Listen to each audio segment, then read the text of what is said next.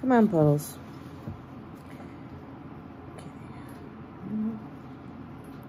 Metacam for pain. Yep. What? You're fine. Had something to eat. Okay. Critical care. Mix a tablespoon of the powder with uh, one container of sweet potato baby food. Add some applesauce, a little bit, and then add water to make one cup. That's what I do. I stir it up and then I store it in the fridge. And then I load the syringes, which I got from Walgreens, and put them in hot, hot tap water to warm them up. I just, you know, I remember a vet of mine told me vegetable baby food was really good for piggies, so I thought, well, that plus critical care must be pretty darn good. Woo, okay, we got more. We got more. You're just like Puddles number one. Feed me, feed me, feed me.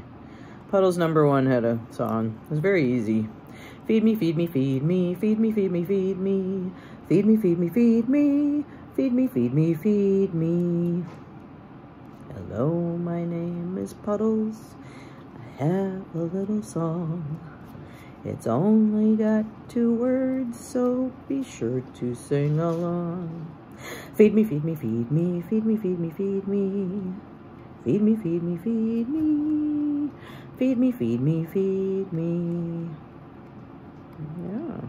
Man, he is not dripping any out. I'm concerned because when I gave out the carrots tonight, um, he took it, but there's only these little bitty um, tooth marks around the carrot. So he didn't actually eat it. So, yeah. I don't know. He's pooping though. I'm guessing because, well, he is eating, but he's also eating a lot of critical care. So I'm giving him 15 cc's every time. And he's had, what, three feedings today? Yeah. So 45, give or take. Yeah, is that right? Mm -hmm. You're so pretty. He is really chewing on that syringe. Sometimes they chew the end off, and one time I got it out of the mouth, and one time I spit it out. Yep. So, yep, that's it. That's it, buddy. That's it. Okay.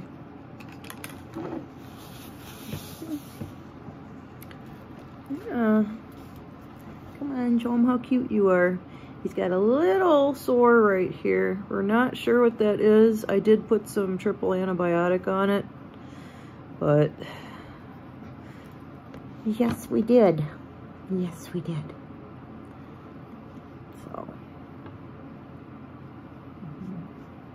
You gotta look out for mouth sores. Um, I did some research on that. It can be anything from just a hay poke to something called cheilitis or cheilitis, which you'll find on guinea pit, Guinea Lynx, which is L-Y-N-X. And they show some really awful pictures of this mouth disease. So I'm just feeling the jaw. What is that? Is that you? Okay, that feels the same on both sides, so you're okay. Unfortunately, I have found a lot of abscesses and lumps on other piggies. So I'm always cautious. Yeah. Yes, I am. Yes, I am. oh. Nose toward the sky. Nose toward the sky. Yes, that's right. You're my boy, aren't you? Hmm? You're my boy. Yes. Oh, my. Oh, yay. Look what he just made. like, okay, you know you're a pet owner when you're happy about normal poops. Isn't that right? Hmm? Yeah, princess. Yeah, that's right. Oh, I know. I know. Okay, so that's what's going on tonight. Syringe feeding, woohoo!